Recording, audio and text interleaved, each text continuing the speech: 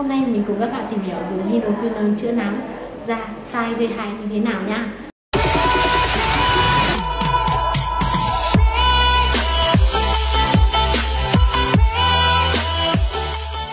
Xin chào mọi người, mình là Thanh chuyên viên tư vấn tại thẩm mỹ xem. Hôm nay mình cùng các bạn tìm hiểu dùng hydroquinone chữa nám da sai gây hại như thế nào nhá. Hydroquinone là một trong những thuốc sử dụng đầu tay trong điều trị nám. Tuy nhiên cần biết cách sử dụng đúng mới mang lại hiệu quả. Còn việc sử dụng sai thì hậu quả không lường cùng xem hết video dưới đây của mình để tránh những sai lầm khi sử dụng hydroquinone trong điều trị nám nha. Hydroquinone là một trong những hợp chất hữu cơ mang lại hiệu quả cao trong việc làm sáng da và điều trị tình trạng tăng sắc tố trên da. Nên hydroquinone là một trong những chất đầu tiên mà bác sĩ chỉ định trong điều có thể hiểu đơn giản. Trên da có tế bào hắc số melanocyte hắc tố sản sinh ra melanin sắc tố quyết định màu da. Khi da tiếp xúc với ánh mặt trời lâu dài, sẽ tạo ra các sắc tố melanin nhiều hơn, dẫn đến tình trạng nám da, tàn nhang làn da xỉn màu. Hydroquinone có tác dụng hạn chế và làm giảm các hoạt động của melanocyte kiểm soát và ức chế quá trình tăng sinh của tế bào hắc tố melanocyte Ngoài ra, hợp chất này còn hỗ trợ cải thiện sắc tố và làm da sáng đều hơn.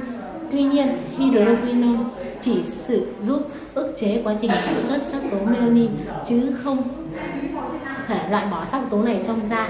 Do đó, có thể xảy ra hiện tượng nám da do dùng hydroquinone. Hiện tượng này có thể là do khi tế bào hắc tố chết đi tích tụ trên da trước khi bị loại bỏ hẳn trên bề mặt da. Do vậy sau khi dùng hydroquinone vài tuần, tình trạng da sạm có thể tăng lên, sau đó mới có thể cải thiện và sáng trở lại.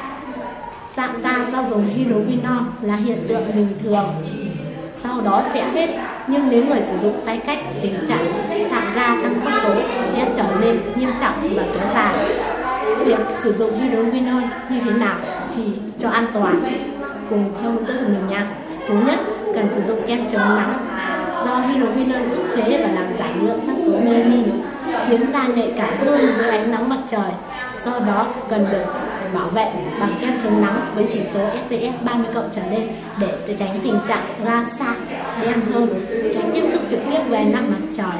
Thứ hai, không sử dụng hydroquinone lâu dài khi sử dụng hydroquin nồng độ cao và không có hướng dẫn giám sát của bác sĩ chuyên gia sẽ phải dẫn đến tình trạng kháng thuốc. Hậu quả của vấn đề này là các tế bào hắc tố sản sinh quá mức để đáp ứng thuốc, do vậy nên trở nên da sẽ sạm do hơn do dùng hydro quá liều. Thứ ba là sử dụng hydroquinone không đảm bảo. Trên thực tế, trên thị trường có rất nhiều kem chứa hợp chất này.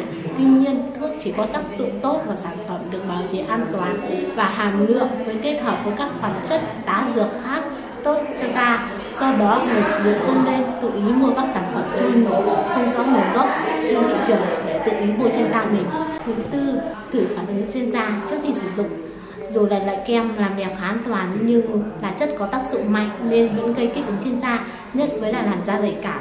Do đó, trước khi sử dụng, nên thử phản ứng trên da bằng cách thoa một lượng kem nhỏ lên vùng da mỏng, mặt trong của cánh tay. Nếu mà da cảm giác bẩn ngứa hoặc có bất kỳ hiệu ứng và biểu hiện kích ứng nào nên rửa sạch bằng sử dụng. Không thoa hydroquinone ở quanh vùng da nhạy cảm như mắt, mũi, miệng, vì nó có thể gây ra ngứa, đau, rát, khô không sử dụng hydroquinone hydroquinone trên vùng da đang kích ứng. Sau 3 tháng sử dụng hydroquinone, nếu không thấy hiệu quả, nên gặp bác sĩ da liễu để điều chỉnh thuốc. Không sử dụng hydroquinone quá 5 tháng liên tục trong một chu kỳ điều trị. Phụ nữ trong độ tuổi sinh đẻ có ý định mang thai hoặc mang thai cần đặc biệt tham khảo ý kiến của bác sĩ trước khi sử dụng các sản phẩm làm đẹp chứa hydroquinone. Chúc các bạn